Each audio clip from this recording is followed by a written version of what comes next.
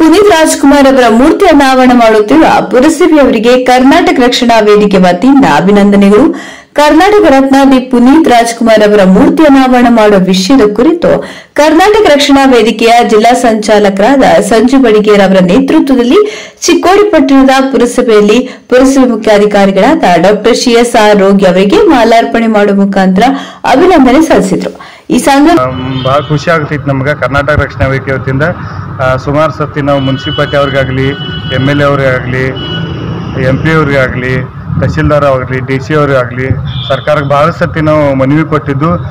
ಬಹುಶಃ ಈ ನಮ್ಮ ಮನವಿಗೆ ಸ್ಪಂದಿಸಿ ಇವತ್ತು ಮುನ್ಸಿಪಾಲ್ಟಿ ಅವರು ಚಿಕ್ಕೋಡಿ ಒಳಗೆ ಪುನೀತ್ ರಾಜ್ಕುಮಾರ್ ಅವರನ್ನ ಪ್ರತಿಮೆ ಸ್ಥಾಪನೆ ಮಾಡೋಕ್ಕೆ ಮುಂದಾಗಿದ್ದಾರೆ ನಾವು ಅವರೆಲ್ಲರಿಗೂ ಈ ಸಂದರ್ಭದಾಗ ಶಾಸಕರಾಗಲಿ, ಎಂ ಪಿ ಅವರಾಗಲಿ, ಮುನ್ಸಿಪಾಲ್ಟಿ ಅವ್ರಿಗಾಗಲಿ ಅಧ್ಯಕ್ಷರಿಗಾಗಲಿ ಸರ್ಕಾರಕ್ಕಾಗಲಿ ಈ ಸಂದರ್ಭದ ನಾವು ಮೂರ್ತಿ ಸ್ಥಾಪನೆ ಮಾಡಿ ಅಭಿನಂದನೆ ಮತ್ತು ಧನ್ಯವಾದಗಳನ್ನು ಸಲ್ಲಿಸ್ತೇವೆ.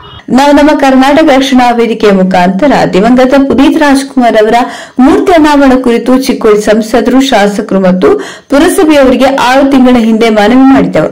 ನಮ್ಮ ಮನವಿ ಸ್ಪಂದಿಸಿ ಚಿಕ್ಕೋಡಿ ಪುರಸಭೆ ವತಿಯಿಂದ ಕರ್ನಾಟಕ ರತ್ನ ದಿವಂಗತ ಪುನೀತ್ ರಾಜ್ಕುಮಾರ್ ಅವರ ಮೂರ್ತಿ ಅನಾವರಣ ಮಾಡ್ತಿದ್ದಾರೆ.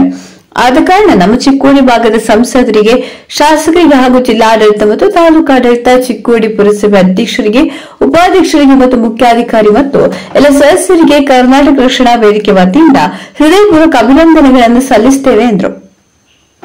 ಬಳಿಕ ಮಾತನಾಡಿದ ಪುರಸಭೆ ಸದಸ್ಯರಾದ ಶ್ರೀಮತಿ ಯೋಗ ಸದ್ದಲಗೆ ಅವರು ಇದು ಕೊಟ್ಟಿದ್ದಾರೆ. ಪುನೀತ್ ರಾಜ್ಕುಮಾರ್ ಅವರ ಪುರಿ ಇದನ್ನು ಸ್ಟ್ಯಾಚ್ಯೂವನ್ನು ಇದು ಮಾಡೋಕ್ಕೆ. ಅದಕ್ಕೆ ನನ್ನ ನಮಗೆ ಅದು ಅಭಿಮಾನ ಇದೆ.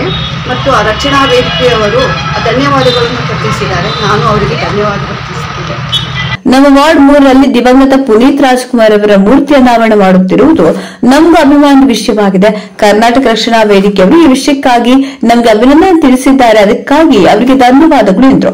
ಈ ಸಂದರ್ಭದಲ್ಲಿ ಬಸು ಸಾಜನೆ ಸತ್ಯಪ್ಪ ಕಾಂಬಳೆ ನವಲಪ್ಪ ಡಗೇರ ಸಂತೋಷ್ ಪೂಜಾರಿ ಶ್ರೀಕಾಂತ್ ದಾಸೋದೆ ದುಂಡಪ್ಪ ಚೌಗಲೆ ಮತ್ತು ಇನ್ನಿತರ ಕರ್ನಾಟಕ ರಕ್ಷಣಾ ವೇದಿಕೆ ಸದಸ್ಯರು ಉಪಸ್ಥಿತರಿದ್ದರು. Rohit Garagudi power times news Chikkodi.